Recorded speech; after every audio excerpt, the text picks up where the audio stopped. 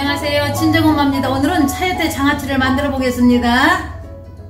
재료는 차요태 4개 할로피노 4개 간장 2컵 반 물 1컵 반 소주 1컵 식초 1컵 흑설탕 2컵을 준비했습니다. 잘라가지고 먹기 좋게 자르면 돼요.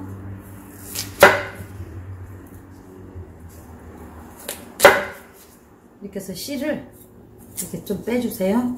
조금씩 있는 씨는. 씨가 뭐 없애거나 그러진 않는데 이렇게 빼내야 되니까. 그 차요태를 고르실 때는 될수 있으면 이렇게 좀 작은 걸로 고르시면 좋아요.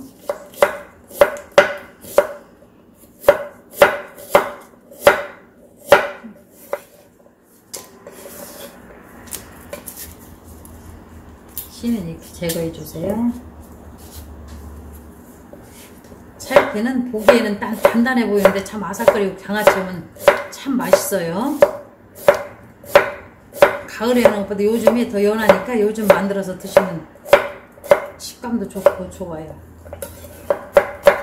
할로피노도 이렇게 먹기 좋게 얄짝얄짝 썰으시면 돼요.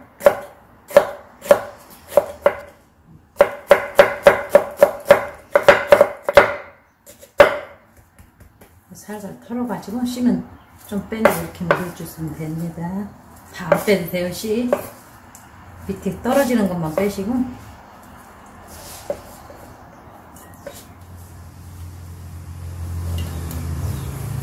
이렇게 담그셔서 간장물 끓여가지고 상온에서 이틀만 두셨다가 한번 끓여가지고 식혀서 부은 다음에 냉장고에 넣어놓고 1년 두고 먹어도 안 상해요.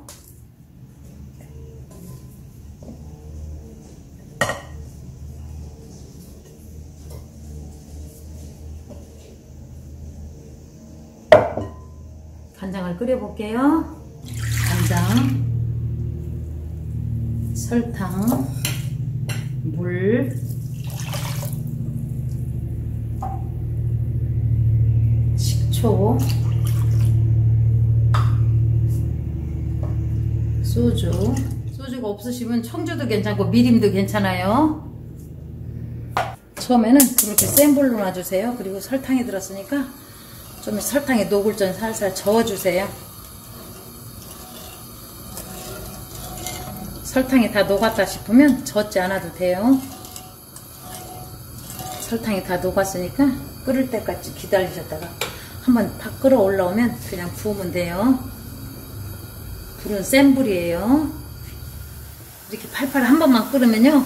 불을 끄시고 조금 한 김 나간 다음에 부어주세요. 유리병이 터질지 모르니까. 불을 끌게요. 한 김 식혔어요. 이게 좀 만지면 그릇이 만질 정도 될 때 부으시면 됩니다.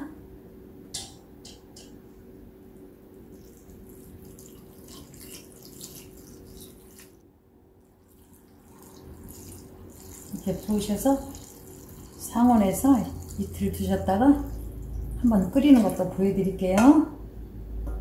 이렇게 부으신 다음에 이런 그릇을 좀 무거운 거 있으면 좋아 이렇게 해서 눌러놓으면 위로 안 올라오고 좋아 이렇게 해놓으세요. 그래서 이틀 동안 상온에서 두셨다가 한 번 더 끓여가지고 식혀서 부어서 냉장 보관할 거예요. 보여드릴게요.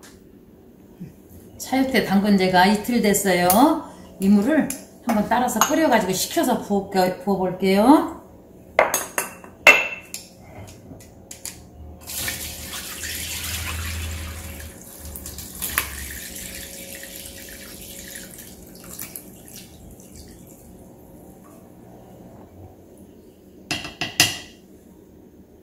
끓여볼게요.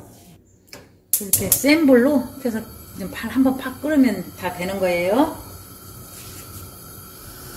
다 끓었어요. 불을 끄고 식혀서 이따 부어볼게요. 이렇게 부으셔서 냉장 보관했다 드시면 됩니다.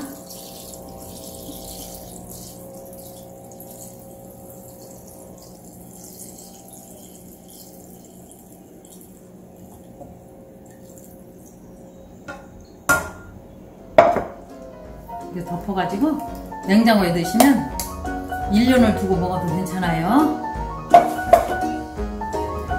오늘의 차유대 장아찌가 완성되었습니다. 이렇게 만들어서 맛있게 드세요. 감사합니다.